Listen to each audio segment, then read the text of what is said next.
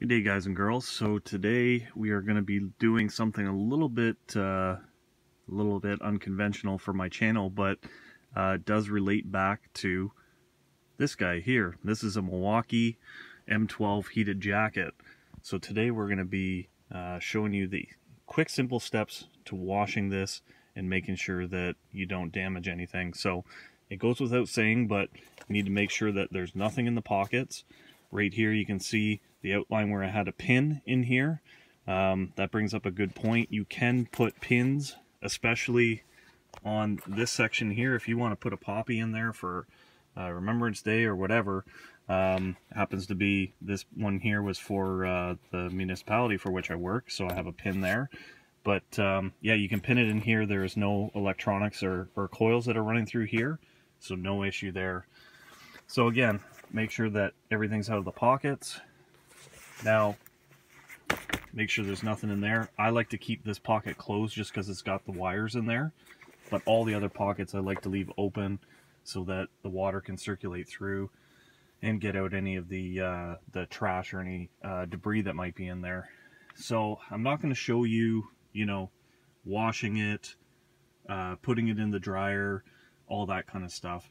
You guys and girls get the idea. But what I want to reinforce is that you need to do this low and slow. So when we're doing this, I'm just going to put it on the normal setting. You could also put it on the delicate setting. Um, it, it's really up to you. Um, you know what? We're actually going to go delicate. We're going to go delicates on this one, just to be sure. We're going to make sure that we're washing it in cold water and you can see I got the settings set there just for the jacket. I like washing the jacket just by itself. Um, you can put this in a pillow if you want. Some people get concerned that, um, you know, things could get tangled in there or damaged. I'm not concerned with it. Um, there's also those laundry bags, those mesh bags that you can put these in if you're that concerned with uh, damage. But again, follow the manufacturer's recommendations. They just say wash on uh, normal setting, cold. They actually say warm. Um, I disagree with that.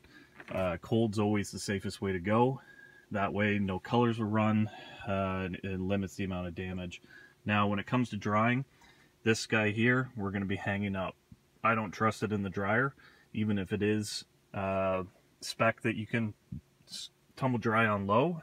Um, so if that's what you're going to do, on my setting, or my dryer here, it says knits delicates low, so you would basically turn it to there, run your cycle normally.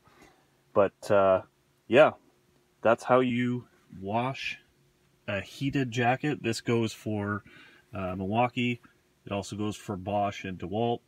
There's really no difference between the companies. So we're just going to show you.